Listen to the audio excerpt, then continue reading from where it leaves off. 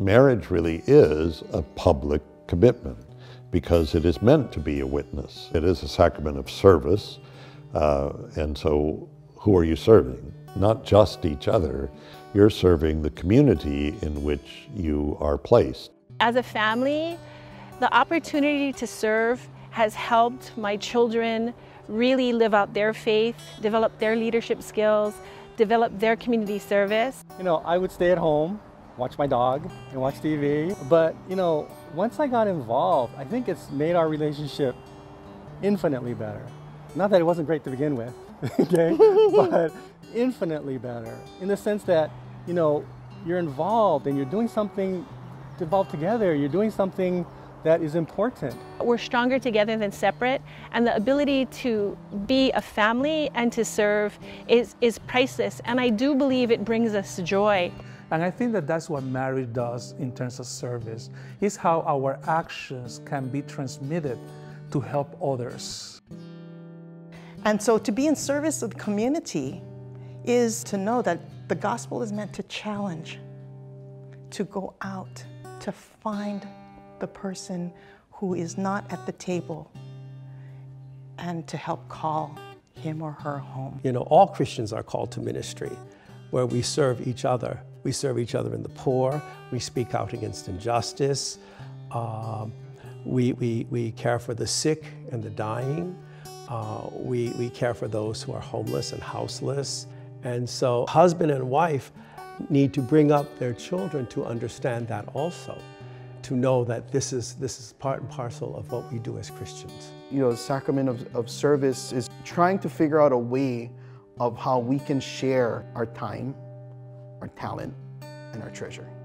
Love, sacrifice, compassion, mercy. Isn't that what our Trinity is?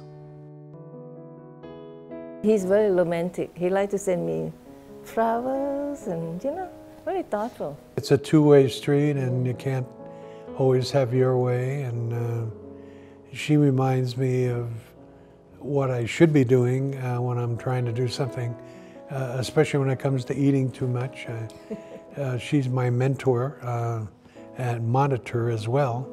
We prayed. We pray on, together every day. Yeah, yeah we pray so. together. And then that became a lot easier when she became Catholic.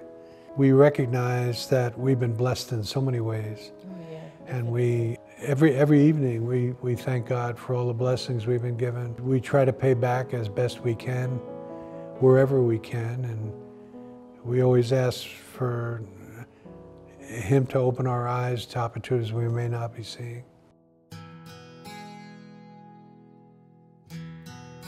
We have been married for uh, going on 16 years. Uh, we just um, recently got married in the Catholic Church. I was Protestant, my husband is Catholic, and uh, I decided to give my children the faith that Pat was practicing. I love my kids and I want to guide them correctly and since I need guidance myself, might as well be a practicing Catholic since he's Catholic. I enjoy going to bed at night with one and the same person. I feel safe in it, and I look forward to it. It takes 100% uh, commitment to, to make a marriage work, and it takes love. Living in love, presenting that uh, experience to others. That experience is our lived life. How will they know if we don't really tell them? And so having these opportunities to mentor other people or giving a retreat to them, that's how we can serve our church. That's how we can make it real for other people. It's not pie in the sky. Like it is our everyday real lived life. And we want to give hope to people that it's possible to have that passionate love affair for your whole life. It isn't just starry-eyed romanticism, uh, which is a good thing, but not enough people fall in love and they fall out of love. Marriage is not just a feeling, it's a decision. So we have to decide. Even if the romance is gone, and it will disappear from time to time, I'm still committed to this.